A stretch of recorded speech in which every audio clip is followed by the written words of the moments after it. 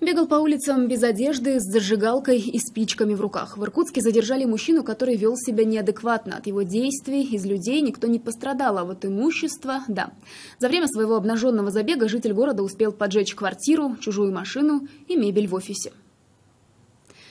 Заметили голого пиромана на улице прохожие. Они позвонили в полицию. Правоохранители определили, куда мог дальше побежать мужчина. Задержали его в супермаркете. Там он расхаживал голым мимо полок с продуктами.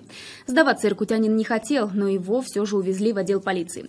Объяснить свое поведение мужчина не смог. Сейчас он находится в медучреждении. Такой забег пироман устроил в день своего рождения. Еще один мужчина, который запомнился жителям одного из домов неадекватным поведением, тоже задержан. Он ломился с кувалдой в двери к соседке, угрожал женщине и ее близким. В этот момент потерпевшая, педагог-дефектолог, проводила занятия с маленькой ученицей. Нападавшего почему-то разозлило, что соседка занимается репетиторством дома. Сейчас мужчина ждет суда за умышленное уничтожение чужого имущества.